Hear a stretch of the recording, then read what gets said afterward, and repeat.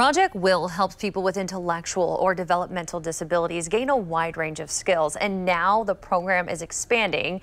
I found out the organization is using crime prevention grant money from the city of Indianapolis to open a new location targeting a new demographic.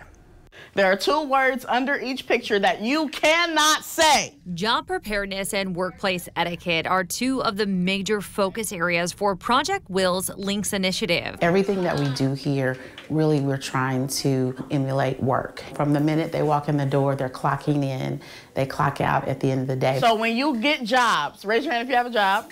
Woohoo!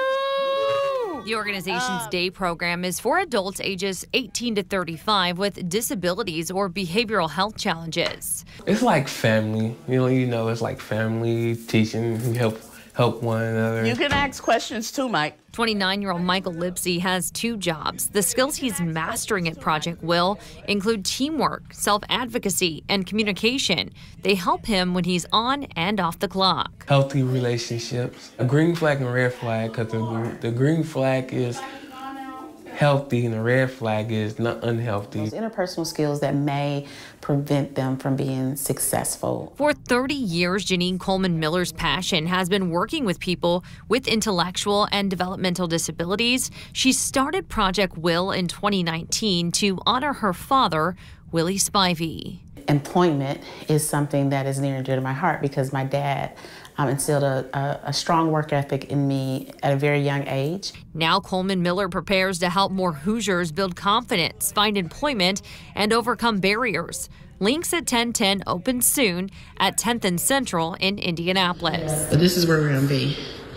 I love that. It looks nice. We are really trying to reach the demographics that may not know how to navigate the resources that are available to them once their young adult has exited school. So, particularly those people of color are really who we're looking for, um, ages 18 to 35. On your mark, get set, Go. Project Will is funded by the Medicaid waiver, but Coleman Miller says many families don't know how to access that resource.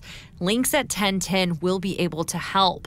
With crime prevention grant funding, the new location will specifically focus on helping people with a criminal background or those who may be at risk with a preventative approach.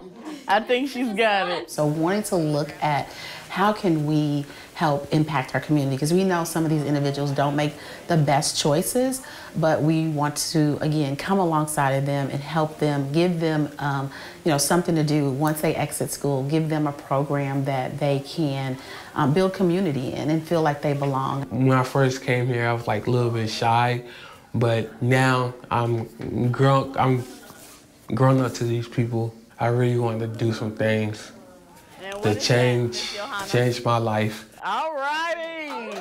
Well, an opening date for the Links at 1010 has not been announced just yet, but I am told participants do not have to be diagnosed with an intellectual disability to be a part of Links at 1010.